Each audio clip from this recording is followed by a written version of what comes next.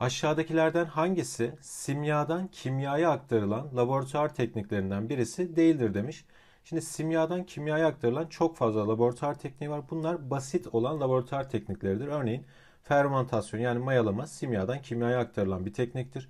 Örneğin damıtma yine imbik denilen düzeneklerle Cabir bin Hayyan tarafından bulunmuştur. Simya döneminde bulunmuştur.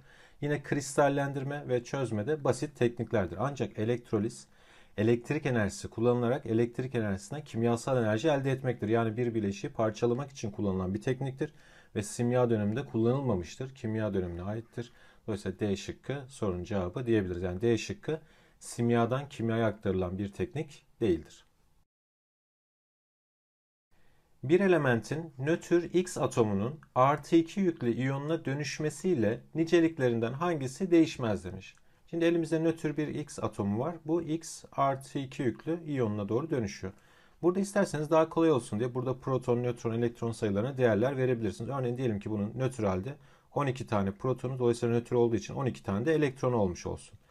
Şimdi artı 2 yüklü iyonuna dönerken burada artı 2 2 tane elektron verdiği anlamına gelir. Dolayısıyla başlangıçta ilk nötr durumunda 12 elektronu varken şimdi burada 10 tane elektron olacak ama proton sayısı burada değişmeyecek. Aynı zamanda diyelim ki nötron sayısı da diyelim ki burada 11 olsun. E nötron sayısı da burada artı 2 yüklü iyon olurken değişmeyecek. Dolayısıyla burada kütle numarası da değişmemiş olacak. Şimdi kimyasal özellik. Şimdi biz kimyasal özelliğin değişip değişmediğine bakmak için şuna bakarız.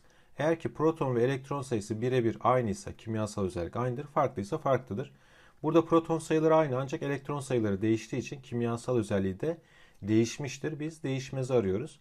Fiziksel özellik için de zaten kimyasal özelliği değişmişse fiziksel özelliği de değişmiştir ama şuna bakıyoruz. Proton, elektron ve nötron sayısına bakıyoruz. Burada elektron sayısı yine değiştiği için fiziksel özelliği de yine değişmiştir. Çekirdek yükü demek proton sayısı demektir.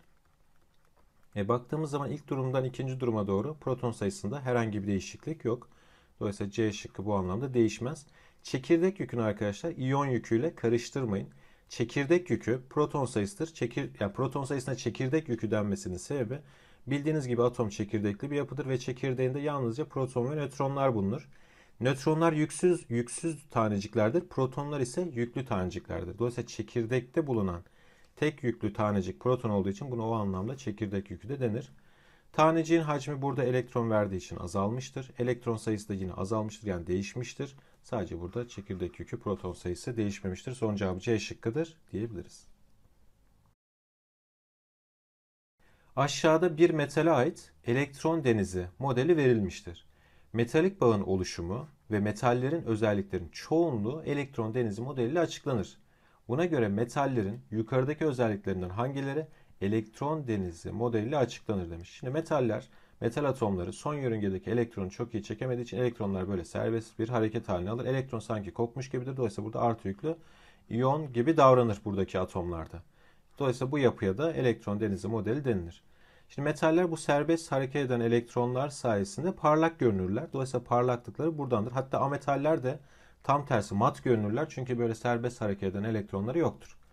Isı ve elektrik akım iletmeleri de yine bu elektronlar sayesindedir. Bu elektronlar ısı ve elektriği bir yerden bir yere iletebilir. Ametallerin yine iletmemesinin sebebi de böyle elektronların olmamasıdır. Yine tel ve levha haline getirilebilmeleri yani eğilip bükülebilmeleri burada serbest hareket eden elektronlar sayesindedir. Dolayısıyla bu üç özellikte bu elektron denizi modeliyle açıklanabilir. Dolayısıyla sorun cevabı E şıkkı diyebiliriz.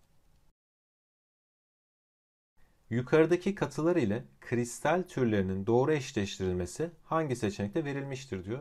Bildiğiniz gibi biz katıları ikiye ayırırız. Amorf yani şekilsiz katılar ve işte düzgün istiflenmiş kristal katılar olmak üzere.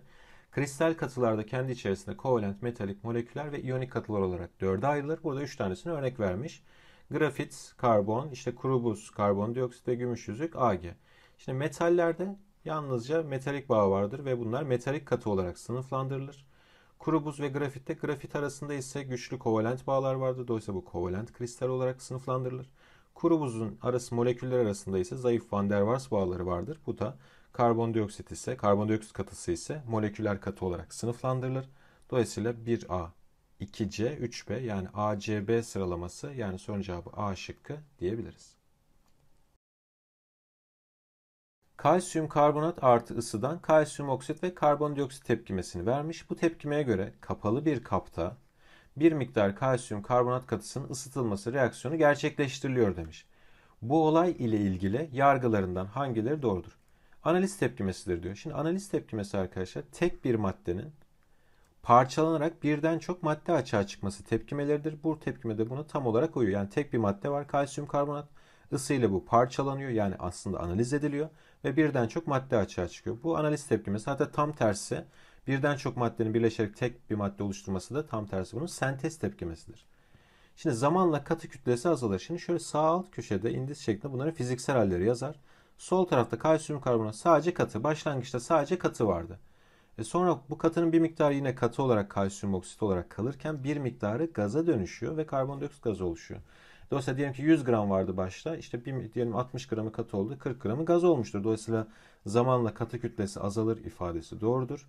E bu tepkime kapalı bir kapta gerçekleşiyor ve fiziksel ve kimyasal tüm tepkimelerde istisnasız kütle daima korunur. Kütlenin korunumu kanundan da hareketle. Dolayısıyla üçüncü ifade de burada doğrudur. Dolayısıyla sorun cevabı E şıkkı 1, 2 ve 3'tür.